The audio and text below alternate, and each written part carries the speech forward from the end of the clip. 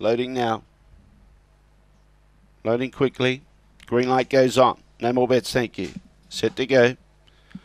Ready now.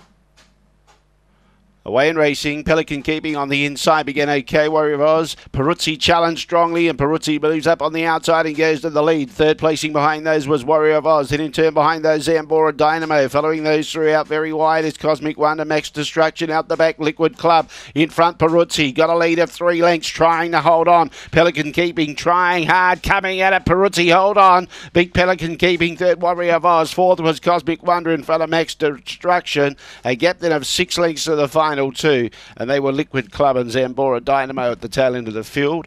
8, 1, 2, and 6, 23, 14, and another one for the late mail followers.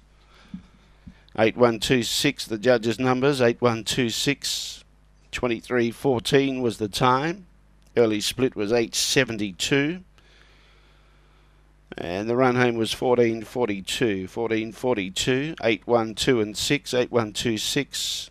Late mail salutes Peruzzi at $5.50 at $1.50. Second